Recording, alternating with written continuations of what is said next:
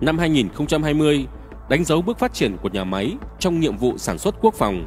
hoàn thành nghiệm thu cấp Bộ Quốc phòng hệ thống tạo giả tổ hợp tên lửa phòng không,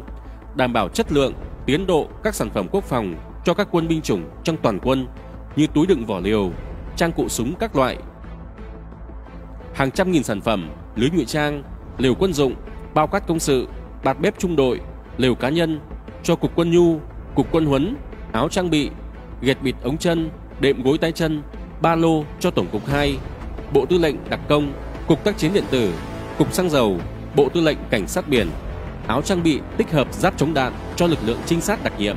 phối hợp triển khai nhiệm vụ sản xuất xe quân sự, qua đó khẳng định vai trò quan trọng của nhà máy trong việc đóng góp xây dựng quân đội cách mạng, chính quy, tinh nhuệ, từng bước hiện đại, tăng cường tiềm lực quốc phòng của đất nước. Doanh thu quốc phòng năm 2020 đạt 143% kế hoạch